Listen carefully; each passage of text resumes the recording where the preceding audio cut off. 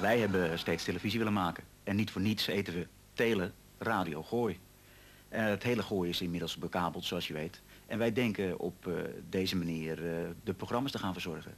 Maar als we televisie gaan maken, dan willen we dat op dezelfde manier doen als op dit moment radio. Totaal afstemmen op onze luister- en kijkers. Maar ja, radio is iets anders dan televisie. Wij denken dat we ook ontzettend veel mankracht nodig hebben als wij aan televisie gaan beginnen. En dan komt er nog bij, is het allemaal financieel haalbaar. Het kleine ploegje dat nu radio maakt, probeert een goed televisieprogramma in elkaar te zetten. De opgedane ervaringen met Teleradio Gooi geven hen een goed inzicht in de wensen van de bewoners van het Gooi. Dat betekent wel veel extra werk, want van overbemanning is momenteel geen sprake bij de lokale radiostations. Al hebben tot nu toe al ruim 600 mensen werk gevonden in deze nieuwe sector. Werk dat uitstekend bevalt en dat veel vergoedt van de grote hoeveelheid werk die dat kleine ploegje moet verzetten. Dit is Teleradio Gooi, 24 uur per dag op 102 FM. Ja, het is uh, wel doorwerken. Drie uur uh, programma per dag, zes dagen in de week. Het is uh, commercials inspreken, wisselende nachtdiensten. Maar het is erg gezellig, team erg leuk, gaat prima. Ja, de betaling is, is redelijk goed. Je wordt er niet echt rijk van, maar de eigenaren worden er eigenlijk ook niet rijk van. De eigenaar van Teleradio Gooi is een NV. En van die NV hebben allerlei mensen aandelen. Teleradio Gooi heeft voor zijn aandelenpakket van 500.000 gulden zo'n 200 aandeelhouders weten te interesseren. De meeste van hen komen uit het zendergebied van Teleradio Gooi. Een van de grote aandeelhouders is Henk Alderding. Hij vertegenwoordigt namens de uitgever van het plaatselijke dagblad 35% van de aandelen. Het wettelijk voor een uitgever toegestane maximum.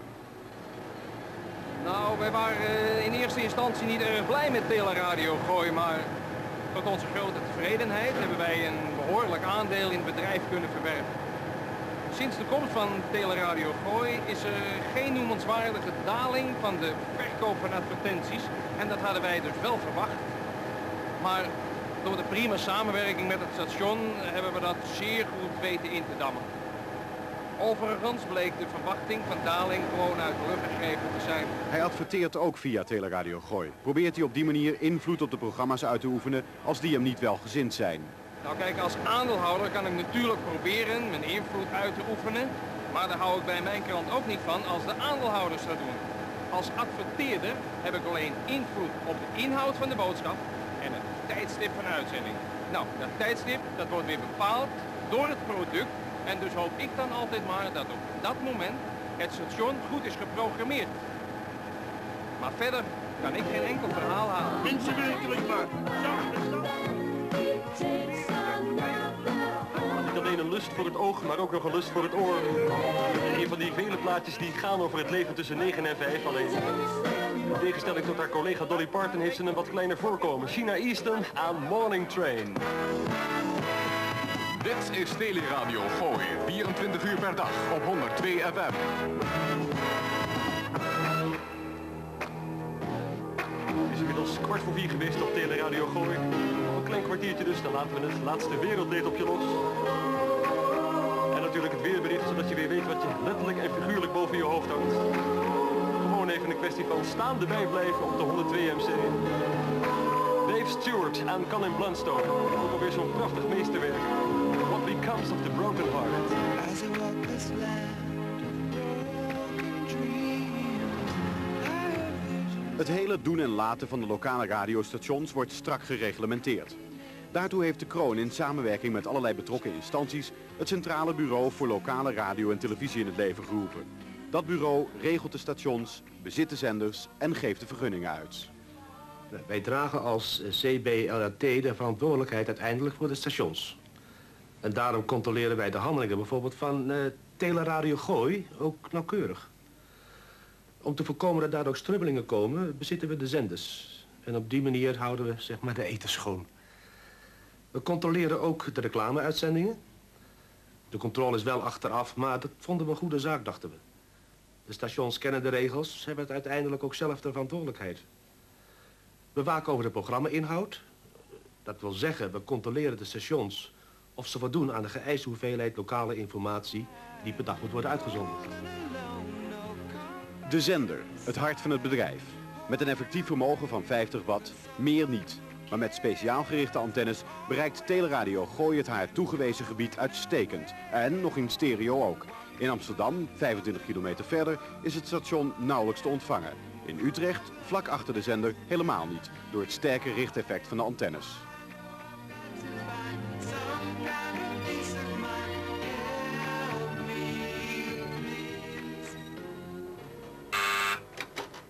Goedemiddag, u spreekt met Teleradio Gooi. Nou, dan stel ik voor dat we gewoon tijdens de uitzending eh, opbellen. Ja, dan moet u wel, weet je wel. druk. Ja, maar je kunt, voor dit onderwerp kun je deze man niet live zo erin laten komen. Dat is veel te gevaarlijk. Dat, dat kunnen we ons niet permitteren. Ja, Kan toch ook met een voetbalclub? Ja, natuurlijk. ik vind gewoon deze man... 1975, Bob Marley and the Wailers en No Woman No Cry. 4 uur. Teleradio Gooi Nieuws. Ik ben Marco van Stalen.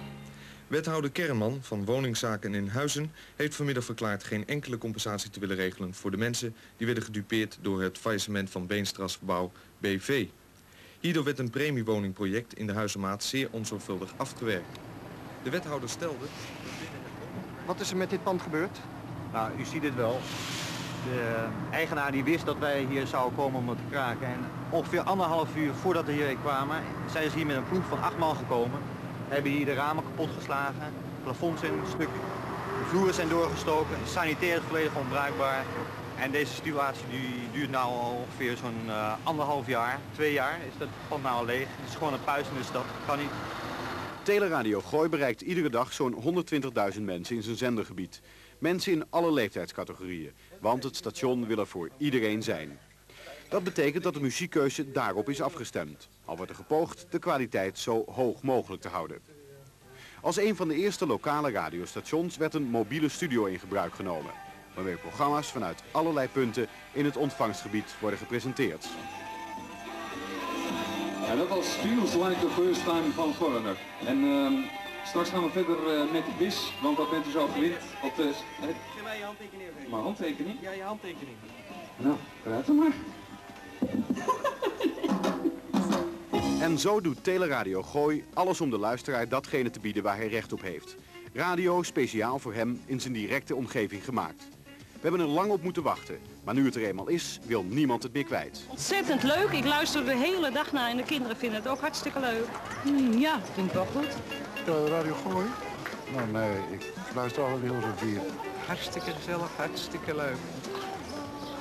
Ik luister altijd. Wat vindt u van Teleradio Nee, Gooi? nee. Het nachtje is weer begonnen bij Teleradio Gooi. Tot 4 uur Patricia Boon koele, soms zwoele nachtmuziek.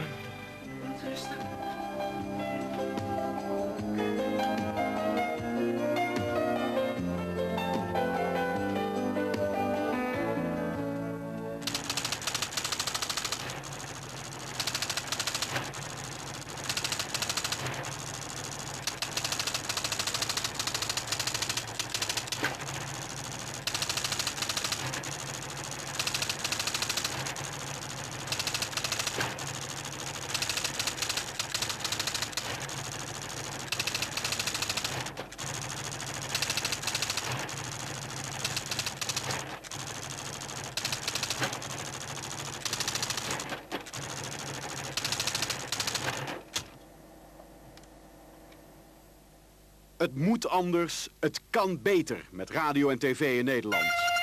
Veronica wil dat binnen het bestaande omroepbestel ruimte komt voor lokale commerciële radio en televisie.